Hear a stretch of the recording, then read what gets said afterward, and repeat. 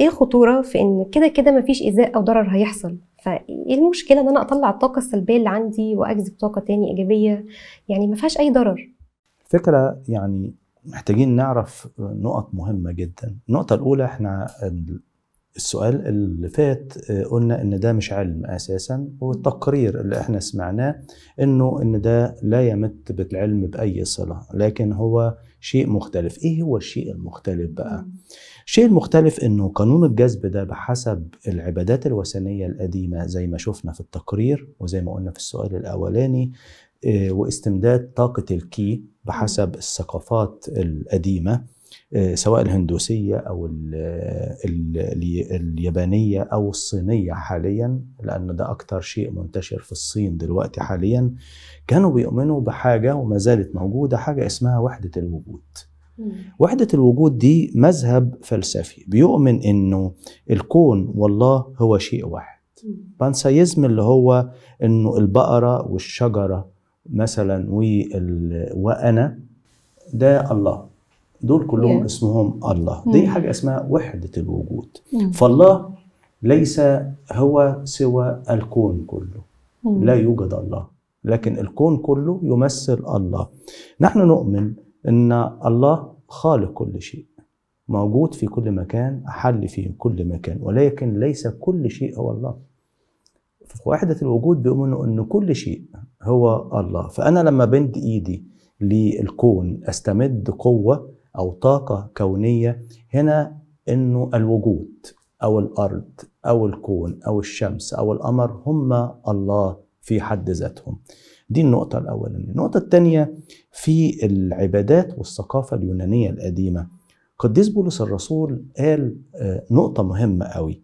قال انظروا في رسالة كولوسي الإصحاح الثاني انظروا أن لا يكون أحد يسبيكم بالفلسفة. تفلسف. الفكرة الفلسفية الكونية وبغرور باطل حسب أركان العالم.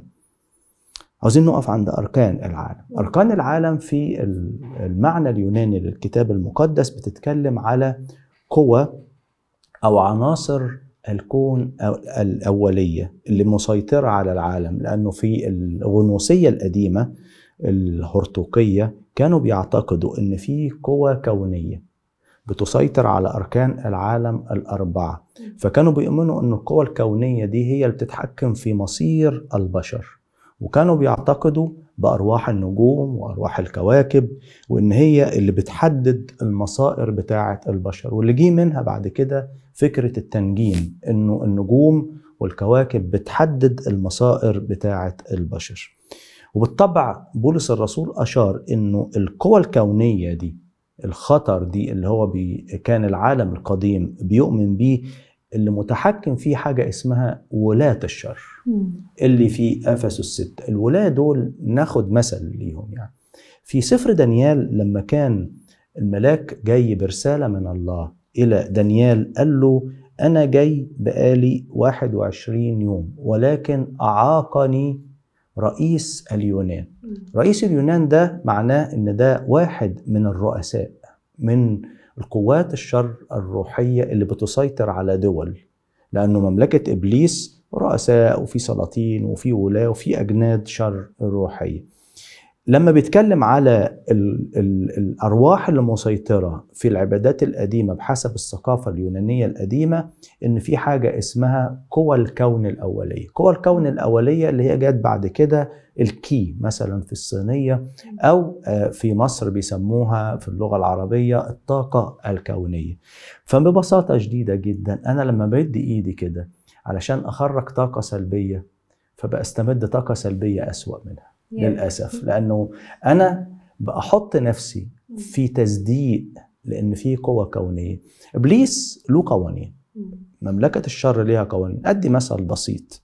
أنا لو مش عارف أو أجهل أو واخد الموضوع بهزار وحطيت صابعي آه، في فيشة كهرباء هل الكهرباء هتقول ان ده مش واخد باله مش هتكهربني؟ حتى لو طفل صغير.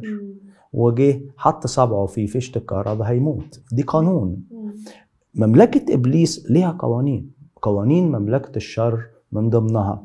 مجرد التصديق بفكرة معينة كل قوانين المملكة تسري على هذا الشخص. عشان كده القديس أغسطينوس كان له تعبير مهم. قال إن الحذر المزعج خيرا من المجازفة. يعني بمعنى إيه؟ بمعنى إنه لابد إنه في أمور بتحصل في العالم أنا هاخدها fun أنا هاخدها هزار أنا هاخدها why not أنا هاخدها عادي. إبليس ما بياخدهاش عادي له له قوانين. يمكن سؤال مهم آه، وده جه في آه، الشباب لما قدموا في اتذكر إنه آه، ممكن يحصل شفاء ممكن يحصل آه، حاجة آه ممكن. طيب عن طريق إيه؟ اللي حصل إزاي؟ ده نقراه في مثلا سفر التثنية الإصحاح 13 حاجة مهمة قوي. يقول كده في سفر التثنية الاصحاح 13 إذا قام في وسطك نبي أو حالم حلما وأعطاك آية أو أعجوبة ولو حدثت الآية أو الأعجوبة التي كلمك عنها هتحصل؟ ممكن تحصل؟ آه ممكن تحصل. قائلا لنذهب وراء آلهة أخرى لم نعرفها ونعبدها. هي هنا الخدعة. الخدعة إيه هي ببساطة؟ إن إن كنت أنا أنال الشفاء والثروة والصحة و و و كل ما أتمناه من الطاقة الكونية المحيطة بي. فما الداعي؟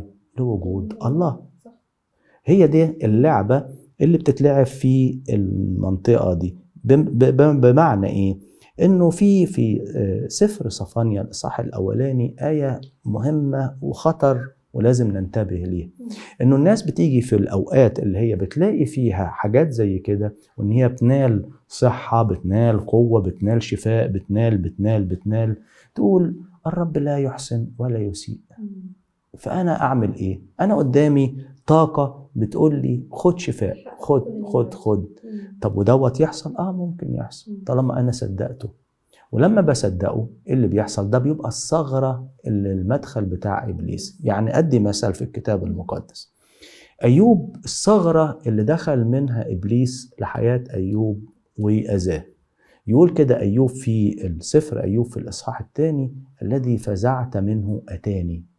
بمعنى إيه؟ كان عنده خوف ورعب من ثلاث أشياء ممكن يحصلوا له. خايف على صحته خايف على ثروته خايف على أولاده.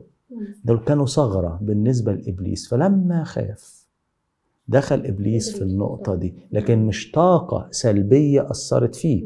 لكن بنلاقي في القصة إنه إبليس نفسه هو اللي كان دخل عن طريق الفكر السلبي اللي إبليس أيوب فكر فيه.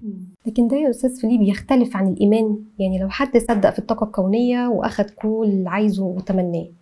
أنا كإنسان مؤمن وعندي إيمان هل ده يختلف عن الإيمان؟ طبيعي لأنه آه، لابد إن إحنا نفهم دايرة عمل إبليس في النقطة دي. إبليس بيشتغل في إيه؟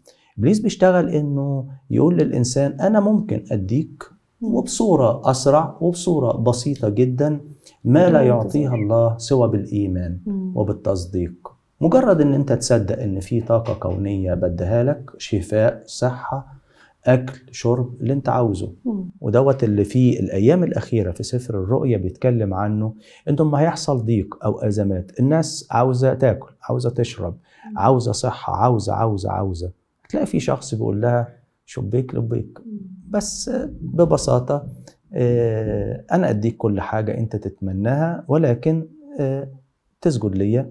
تحط العلامة دي عليك عشان تقدر تاكل تقدر تشرب تاخد صحتك تاخد كل اللي أنت نفسك فيه. الإيمان هو التصديق في شخص.